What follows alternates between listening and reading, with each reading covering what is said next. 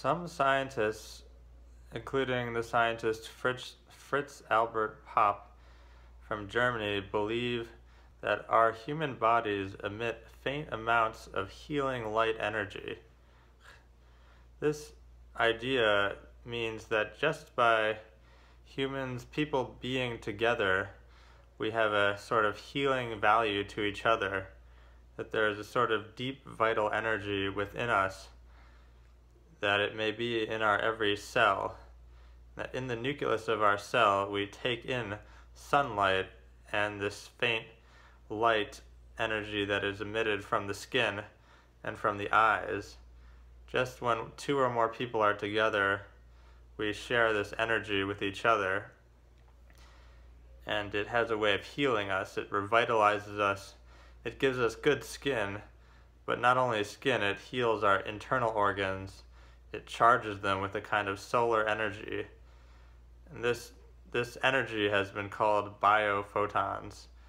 It's a kind of organic photon or a, a living particle of light. Some say that it contains a kind of code that um, that, translates information to the DNA about how it should uh, arrange its structure.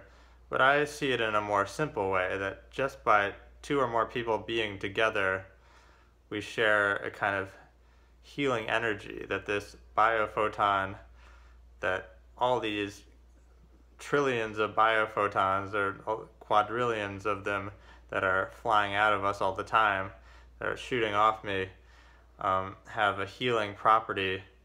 They're just kind of like raw energy, like it's just like plugging into a power plant.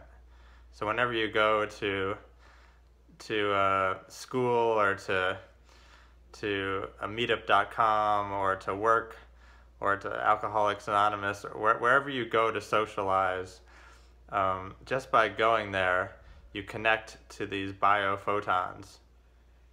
And, um, and you benefit from their healing properties. So go out today and get some biophotons for me. Good luck.